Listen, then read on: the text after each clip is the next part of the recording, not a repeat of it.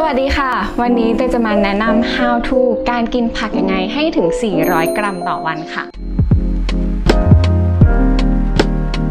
รู้หรือไม่คะว่าตามหลักโภชนาการแล้วเนี่ย เราทุกคนเนี่ยไม่ว่าจะกินอาหารในรูปแบบไหนก็ตามนะคะ เราต้องได้รับประทานผักและผลไม้ให้ได้ถึง 400 กรัมต่อวันนะคะ หรือว่า 5 ส่วนต่อวัน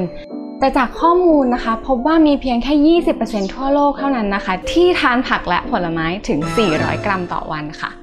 จากข้อมูลองค์กรอนามัยโรคนะคะ เขาได้กล่าวไว้ว่า การที่เรากินผักและผลไม้น้อยลงเนี่ยเป็นหนึ่งในสาเหตุที่ทำให้เกิดโรค NCD ต่างๆนะคะ ไม่ว่าจะเป็นโรคอ้วน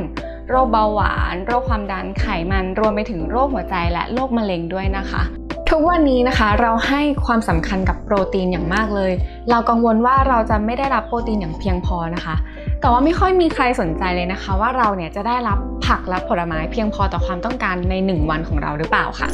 อันนี้นะคะก็เป็นปริมาณผัก 400 กรัม ที่เราควรจะต้องกินต่อวันค่ะ เยอะมากเลยใช่ไหมคะ ถ้าใครกินชอบกินผักสลัดอย่างเดียวเนี่ย นี่คือปริมาณผักสลัดที่ทุกคนจะต้องกินนะคะ หลายคนอาจจะรู้สึกกลัวไปเลยนะคะ แต่ไม่ต้องกังวลค่ะ วันนี้เนี่ยเตยมีตัวช่วยที่จะทำให้เราเนี่ยกินผักให้ได้ครบ 400 กรัมแบบง่าย ๆ ค่ะ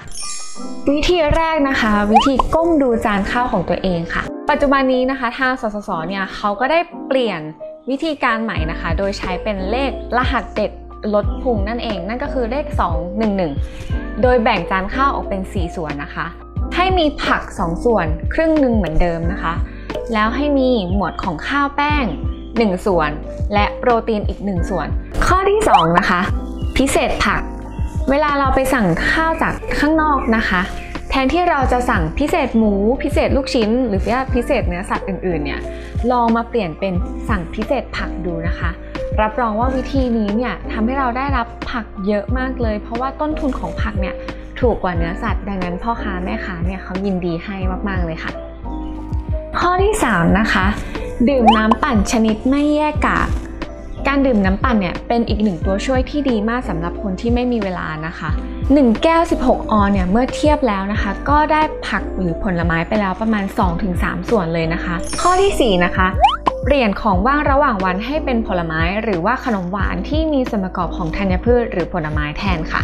เช่น เต้าส่วนธัญพืช ถั่วเขียวต้มน้ำตาลหรือว่าต้มน้ำขิงนะคะ ข้อที่ 5 นะคะ พกผักสดหรือว่าผลไม้เนี่ยติดกระเป๋าเอาไว้ค่ะ วิธีนี้เนี่ยเป็นวิธีที่เตยใช้เวลาที่เตยต้องออกไปกินข้าวนอกบ้านบ่อยๆนะคะ เท่านี้นะคะ วิธีง่ายๆที่จะช่วยให้ทุกคนเนี่ยพิชิตปริมาณผักและผลไม้ 400 กรัมได้อย่างง่ายๆเลยค่ะ